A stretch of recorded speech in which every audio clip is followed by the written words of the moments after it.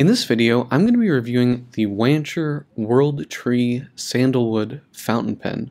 I'll go over the specs, I'll do a writing sample, and I'll tell you what I like and don't like about the pen coming up.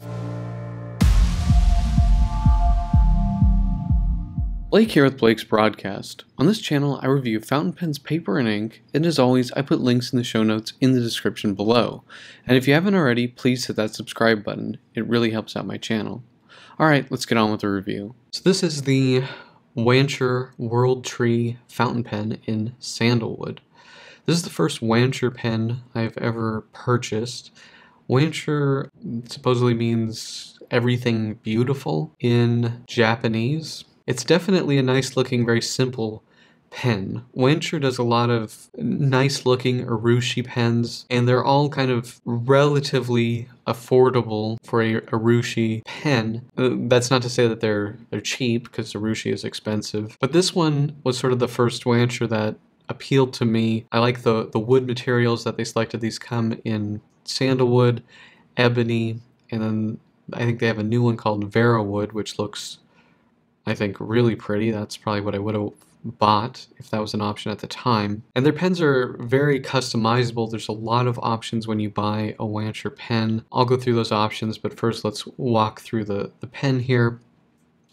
So flat top, there's not really much of a taper at all on the, the cap. It's just sort of a round cylinder here, or sort of bar of sandalwood and then it's flat on the bottom of the body but it does taper down quite a bit. It's a pretty wood. I I like it. There's not, you know, you get a little bit of that wood grain feel but it's it's pretty smooth. The clip is solid sterling silver. Clip is made in Japan. I do not know if the rest of the pen is made in Japan. I think it might be, but I'm not sure. The clip has a very crude look to it, and I think that was maybe what they were going for. It comes, so it's solid sterling silver. You can see it says 925, signifying silver content. That's sterling silver. Supposedly the anodization is done in a special natural way at, in a hot spring in Oita, Japan, where Wancher is based. I don't know. It looks cool. If you, you know, if you polish this, it'll just go back to being really shiny sterling silver. The clip is removable, so you just pull it off like that. And this is basically the the base pen here. The price starts at $100 and then it's an extra $50 for one of these solid sterling silver clips, which you can have in this anodized finish or in just the, the polished uh, sterling silver. Now, you'll notice that it moves. As a clip, it's not amazing. Um, you know, it does work. Let's see, do I have something thicker to try to clip this to? Let's try this um, Smythson. It does work. I don't personally trust it that much. You know, if you. I'm always worried that it's just going to slide up when I'm trying to clip it on something because it is so easy to move. And just knowing sterling silver I think in time, especially if you're using it a lot, it's going to stretch out a bit. But at the end of the day, I suppose you can always just kind of squeeze this a bit and it will uh, become tighter again. So I have, I guess, mixed feelings about the clip. Um, you can kind of see where it's a lighter color here, which is where it was sort of sitting. So you can see it's darkened a little bit with use, but Anyway, interesting clip. Again, it's an extra $50 for this sterling silver clip, but it, it does work at least as a, a roll stop, and I do think it makes the pen look, I don't know, more interesting. So, all right, let's take off the cap. So here we have a plastic grip section, and we actually have just the same shiny plastic threads as this grip section. I have to say the grip section, it feels very plasticky. It doesn't feel like a fancy plastic to me, but I don't feel any seams on here like I do some of the pens. Pilot a lot of times has seams on their plastic grip section, so nothing really to complain about here other than just it, you know, the shiny plastic threads. I don't know, somehow it just doesn't feel or look as nice as I, I would like it to. So here we have the Jowo nib. This is a number six nib. And when you buy this pen, you get the option of gold finish, two-tone finish, and then also solid gold nib. I believe the two-tone finishes are an upcharge. I know the gold Jowo nib is an extra $130. Then also, so plastic feed here, you also get the option, which I think is nice. You can pay $30 to have the feed in ebonite or $50 to have it in a red ebonite. I do like that they give you the option. You can really make this pen sort of as nice as you want. It's a standard cartridge converter filling system, and why am I seeing red stuff on here. Well, anyway, that's interesting. It's a standard cartridge converter system, so international cartridges will fit in this. One thing I don't particularly like about this is the Wancher logo. I don't really have anything wrong with the like the design of the logo, but you can see the a very clear difference between the sort of deepness of the standard Jowo decoration and the, you know, Wancher, I don't know what that is. It's like a flower or something. It doesn't look good, and in some lights the Wancher logo kind of gets lost. It just looks cheap. I, I wish they could have done the engraving more, you know, as deeply as the stock Jowo engraving, which you kind of get on the sides here. So that was, I have to say, a little bit disappointing. It is a threaded nib unit, so you can just twist this off here, and it's, I have the converter in there, which is why it's giving me a little bit of trouble, but so it's very easy to change out, and that was really the reason why I wanted this pen because I wanted to try some of like the more custom nibs that you can get for that fit a standard Jowo nib. So like for instance, I have this.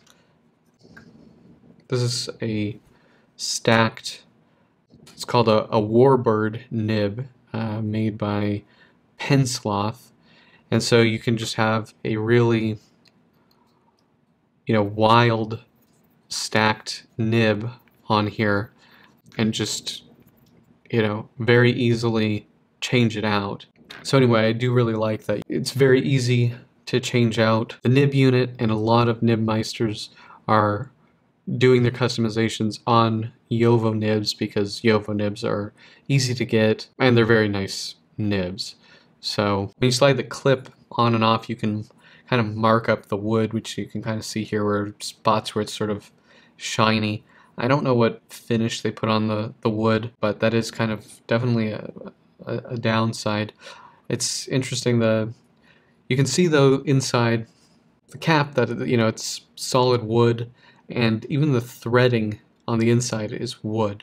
So it's not you know looking at the the pen like this, you know, you might think, oh, it's just a, a veneer, but it is actually a, a solid piece of wood that they make these out of. Let's do some measurements. 140 millimeter long. It's a good size pen. This is 126, 127. And then posted, about 165. I don't really like this pen posted. It's a bit top heavy. So just as a comparison, I'll just put it next to some other pens here real quick. So this is a Pilot Metropolitan, and this is a Montblanc 149. So pretty big, you know, nice hefty pen.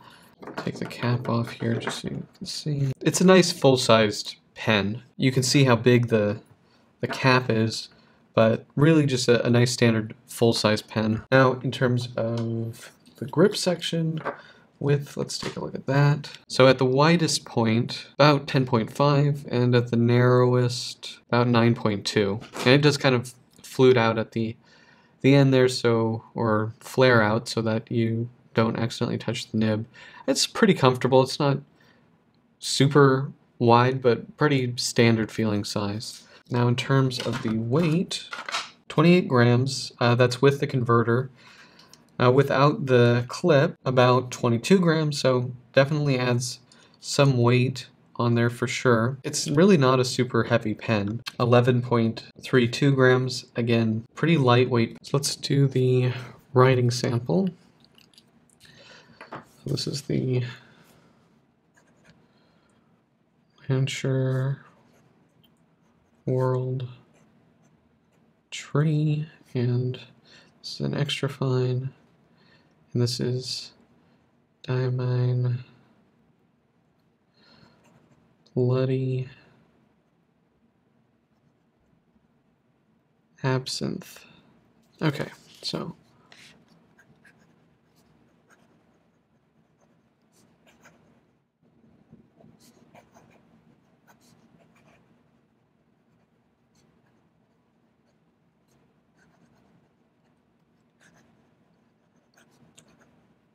Try some fast writing.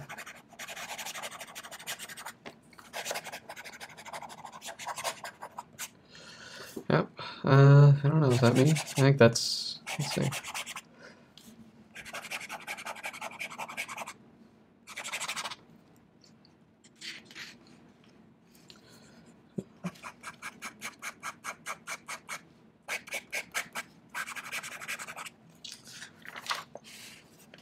Try reverse writing. Seems like I can do it pretty nicely. Is it really that much different though? Yeah, a little bit. In terms of flexibility, this is pretty much a nail. You get a little bit, but I mean, yeah, it's basically just a nail. Can't tell if that this little skips here were me or the pen. I mean, it's an extra fine nib. I haven't had any performance issues with it, especially in regular writing. It's been quite a nice, reliable writer. You know, Jowo makes quite a good nib, and I think this is no exception. It's, I would say, it's not scratchy. I wouldn't find it particularly smooth, but again, it is an extra fine, so I don't think it's anything out of the ordinary. So what are my pros and cons for the Wancher World Tree fountain pen? Well, I like that Wancher gives you a lot of customization options with this pen. You can choose the nib material. They have a good number of widths. You can choose the color of the nib, whether you want a two-tone one or not. You can choose the material for the feed, ebonite or plastic, and you can also choose red ebonite if you want. And I think it's a, a very good looking pen. I kind of like the rustic look of the matte sterling silver clip with the, the wood. It's a very good looking pen. I like that it uses a Jowo number 6 nib unit, so very easy to unscrew and change out the nib. Very easy going. And of course, Jowo makes really great nibs, so it writes great, and it's, a, I think, a pretty good pen for the money, especially the very base model at $100.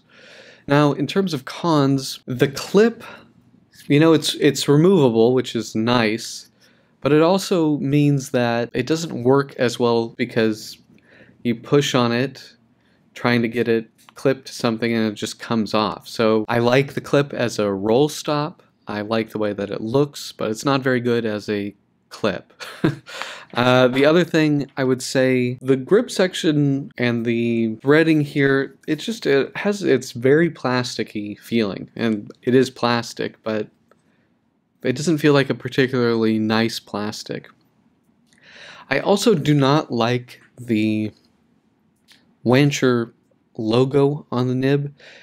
I can just see that whatever machine they used to put the logo on there was not, you know, etching or whatever, carving into the metal as deeply as the decoration that Jowo put on there. So the Wancher logo kind of disappears in the certain light, whereas the Jowo decoration stays. It's just not very nice. I honestly would have just preferred to not have it if they couldn't really match sort of the depth and look of the original Jowo engraving. So that's not really a favorite thing of mine, but other than that, I don't really think I have any other cons. It is a very nice pen, and I do quite like that you get these nice wood options. At the time I bought this, they didn't have this uh, other wood that they call Vera wood, which I think is the prettiest of all three of the woods that they offer.